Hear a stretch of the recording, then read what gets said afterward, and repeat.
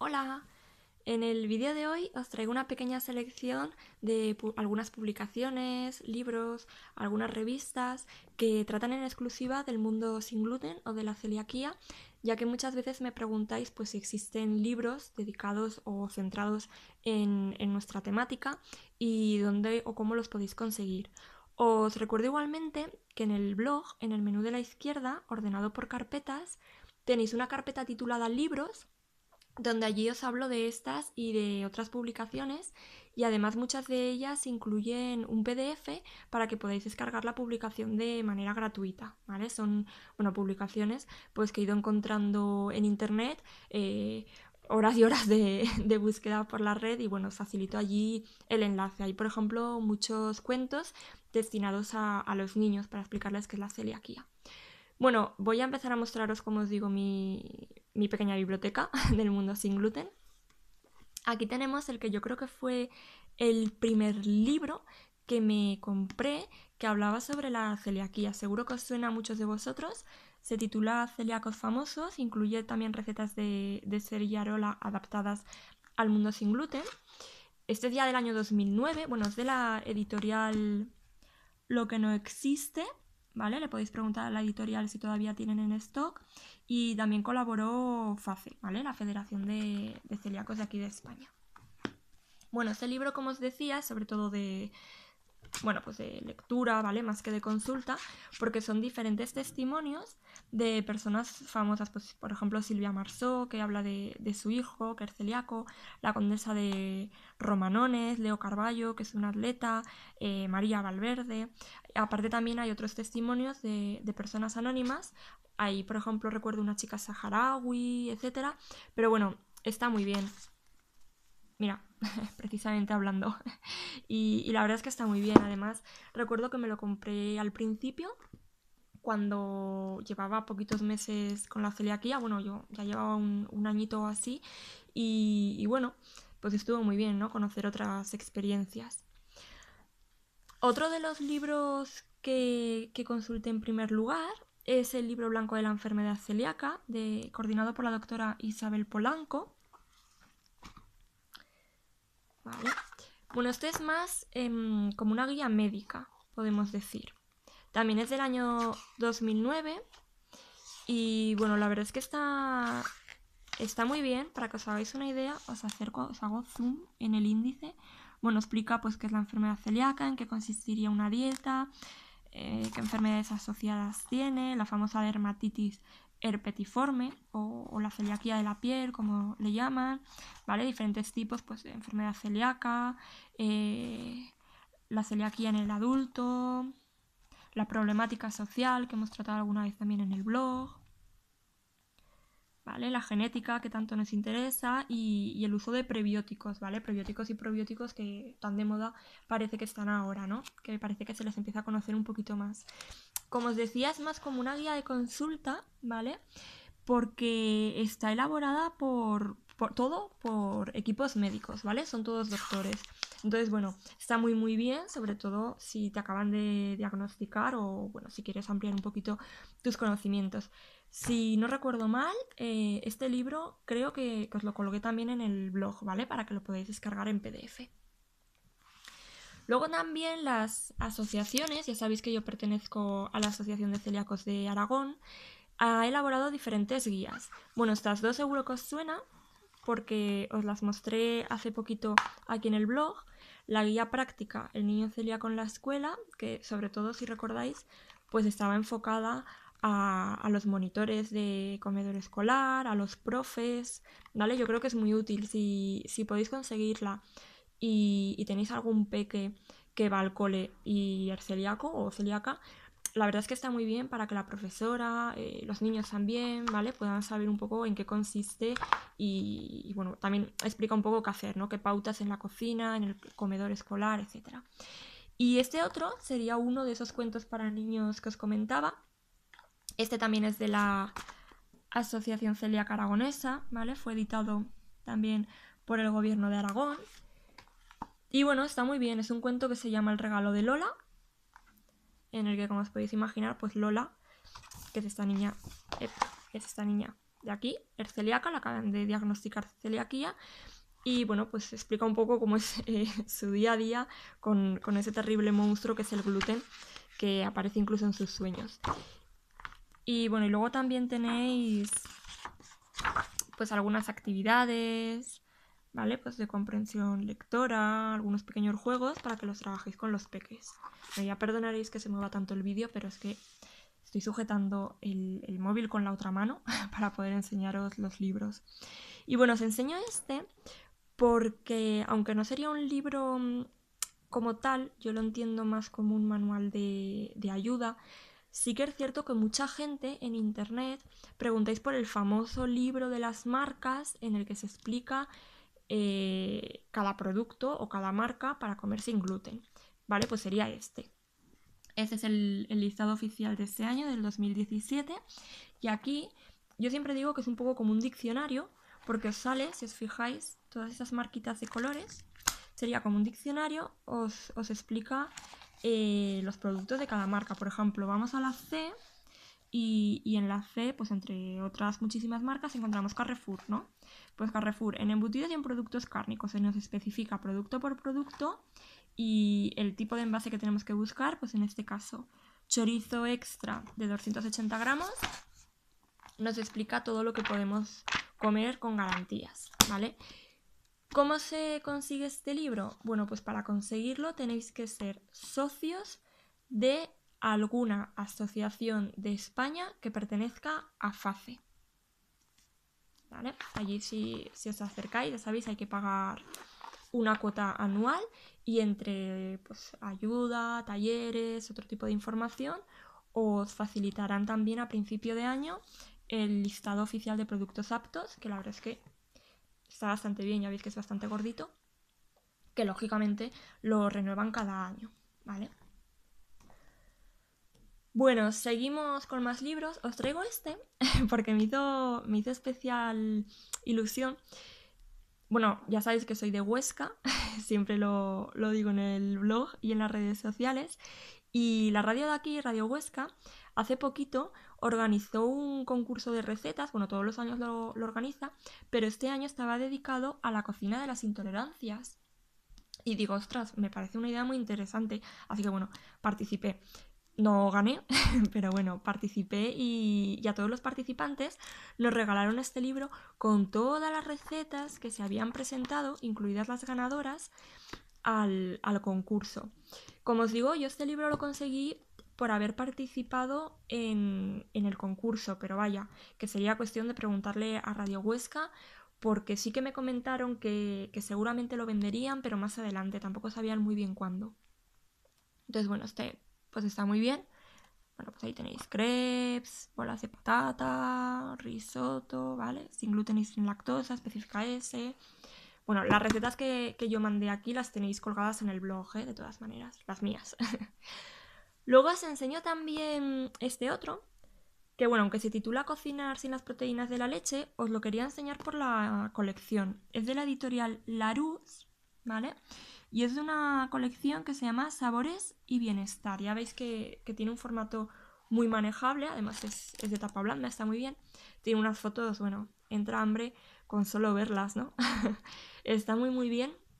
¿Y por qué os lo enseño? Pues porque esta colección de sabores y bienestar, además del de las proteínas de la leche, que es el que tengo yo, tiene también de síndrome, recetas para el síndrome de intestino irritable, recetas sin gluten, ¿vale? Creo que son 4 o 5 números y bueno, la verdad es que, es que está muy bien, fijaros, es muy finito y sin embargo cuenta con 50 recetas, ¿vale? Que no está nada, nada mal.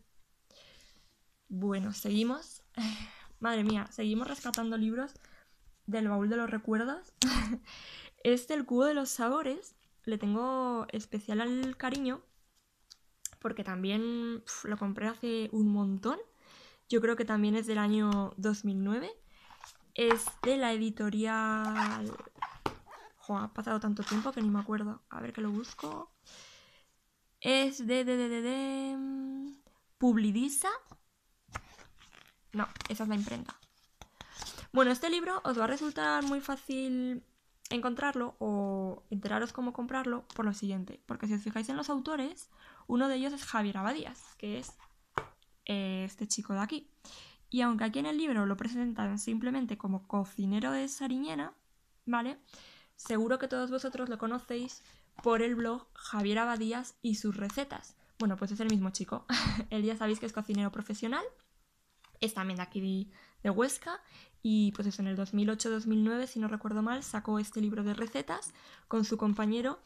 Y la verdad es que, bueno, no especifica exclusivamente sin gluten, pero muchas yo creo que eran ya sin gluten e incluso se pueden adaptar. O sea que la verdad es que está muy muy bien. Son recetas además muy fáciles de hacer. Tengo aquí marcado chocolate, como no podía ser de otra manera.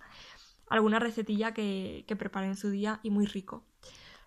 Luego también otro libro de otra blogger muy conocida, que seguro que los que lleváis más tiempo en la celiaquia como yo suena, es el de cero gluten, recetas para celíacos y no celíacos.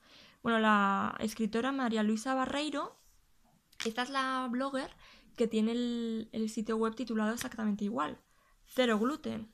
También, como veis, pues un libro bastante potente. Es desde la editorial Grijalvo, ¿vale? Y, pues eso, la verdad es que juego todas las, fotos de los libros de cocina, que son, son una chulada. Crema de calabacín, asada y setas.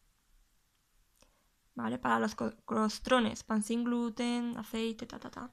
La verdad es que está muy bien. También tiene recetas muy curiosas. Bueno, esta chica, como os decía, tiene un blog de, de recetas y la verdad es que nos gustaba tanto y, tenía tantísimo éxito que finalmente se lanzó a, elaborar su propio libro.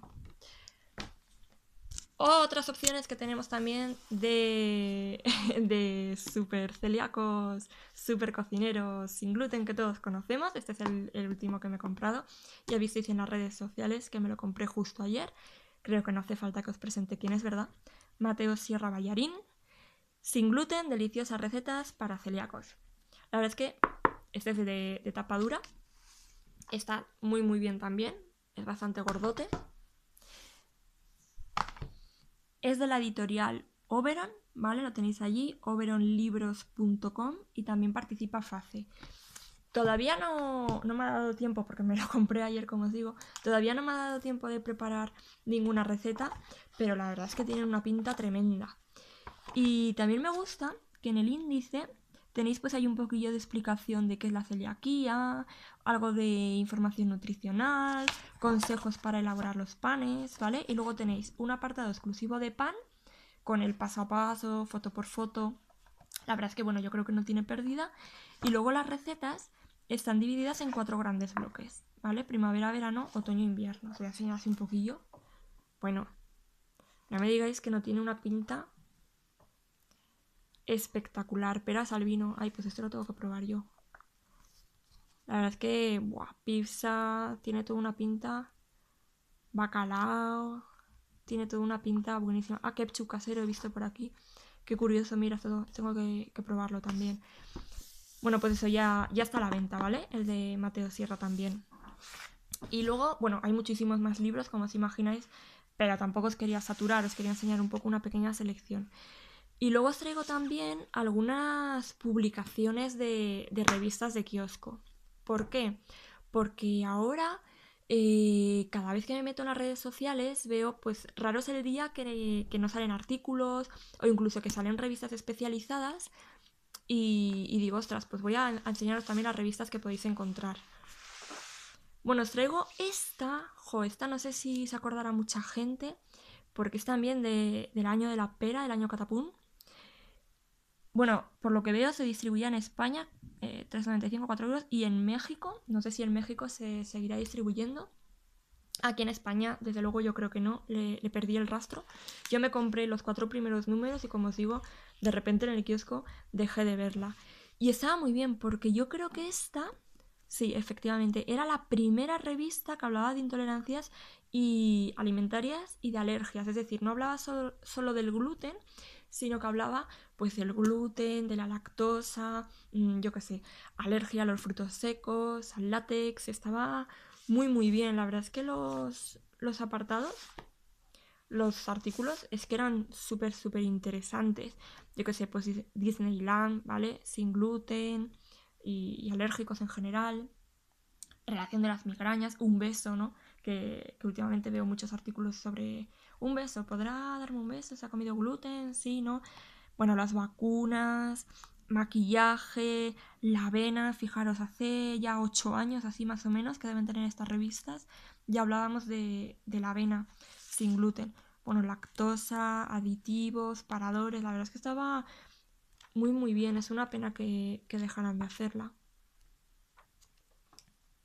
Vale, bueno, pues por ejemplo la leche, vale, un reportaje la lactosa. La verdad es que estaba muy, muy bien, era muy completa. Luego también tenía recetas, te, recomendaba recetas y demás.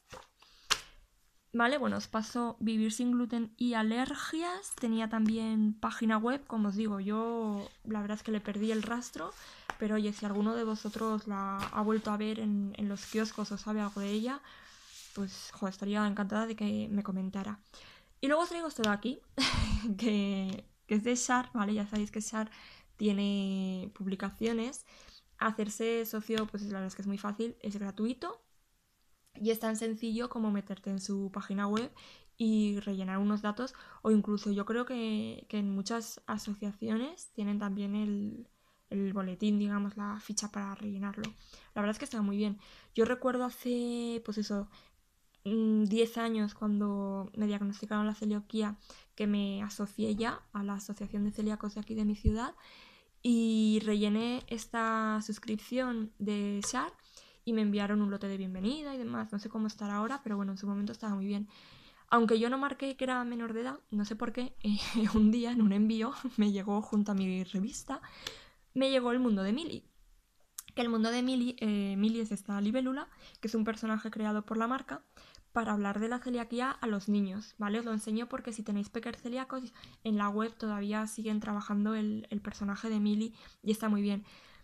Como os digo, me mandaron el cómic en papel que bueno, la verdad es que me gusta, me pareció muy chulo y me lo quedé, como veis, todavía lo conservo, 10 años después. Y bueno, estaba muy bien. Creo que dejaron de editarlo en papel, pero lo tenéis en, su página web, ¿vale? Incluso alguna vez que yo me he metido por ahí a, a trastear en la web de Shar, en el apartado de los niños, tenían juegos y todo eso. Y bueno, aunque como os digo, yo no marqué que era menor de edad y me mandaron este, en realidad la revista que, que te envía Shar es esta de aquí, ¿vale? Que es Your Life. Bueno, esta sería la revista, digamos, el número normal. Y, y esta ediciones especiales que de vez en cuando sacan, ¿vale? Bueno, os enseño estas dos a modo de ejemplo. La verdad es que está, como veis, bastante gordilla, está muy bien, ¿vale? Esta sería la edición especial. Lógicamente mmm, os van a hablar de sus productos, os van a enseñar alguna receta para elaborar con ellos, pero bueno, está muy bien porque como os digo, os dan recetas, etcétera, y luego también sacan reportajes, la verdad que bastante interesantes. Vale, consejos, bueno, un poco de información nutricional de los productos, hablan los expertos.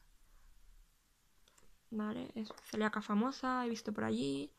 La verdad es que muy, muy bien. Y luego la edición especial, pues bueno, son, son números, como os digo, esto es gratuito, ¿eh? son publicaciones gratuitas. Son números, pues bueno, que, que ya se centran. Por ejemplo, la cocina se vuelve digital. Pionera en internet, tal. Pues una blogger. ¿Vale? Bueno, pues esas ediciones especiales que de vez en cuando. Que de vez en cuando sacan. Y luego por último.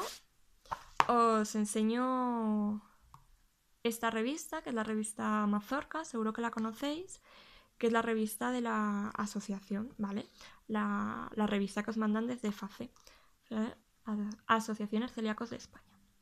Bueno, os enseño esta, mmm, como os podría enseñar cualquier otra, ¿vale? Para que os hagáis un poco una idea. Tiene entrevistas, tiene reportajes, estudios, la verdad es que está muy muy bien, ¿vale? Esa ya no sería gratuita porque para que os manden esta tenéis que ser socios de la asociación, ya sabéis, hay que pagar una cuota anual que varía un poquito de una comunidad a otra, pero bueno, yo creo que tiene bastantes ventajas, ¿vale?